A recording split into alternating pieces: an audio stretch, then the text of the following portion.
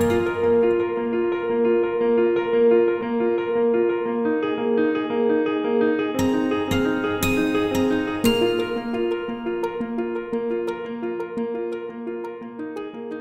optical science is a study of the properties of light, but what's been exciting about the last 50 years has really come from the development of intense sources of light, like lasers. So that means that you can use light to probe the properties of biological materials. The connection with the optical sciences is that you can make these new materials on scales that are smaller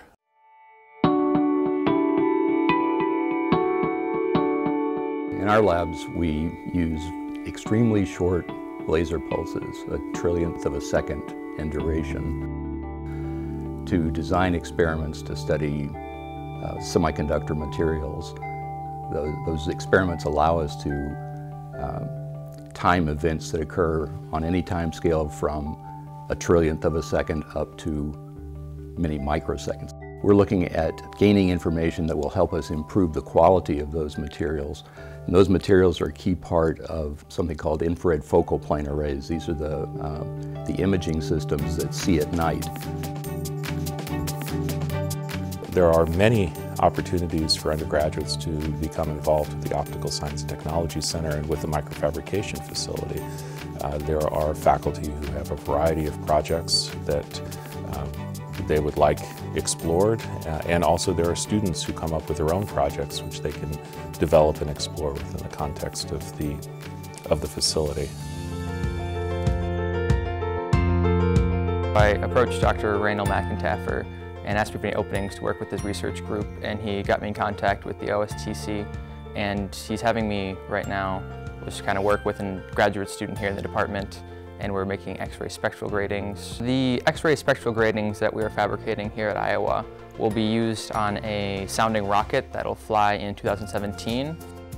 So in the Optical Science Technology Center, the projects that, that we've been working on definitely take advantage of our, of our local environment. And so that includes the, uh, the medical school that is nearby. I would definitely recommend OSTC to fellow undergrads because it gives you such a great experience in research that you can actually apply to your future career. Over the years we've had quite a few undergraduates work in our labs with me and with my graduate students. Um, they do everything from uh, developing code for data acquisition to uh, doing measurements in, in the laboratory to analyzing data working at this research facility with these extremely scientific devices and these like spectral gratings and things like that really helped me towards my future career with astrophysics. Others have just simply got that experience and then gone on to, to use that experience as an entryway into graduate school or into uh, employment.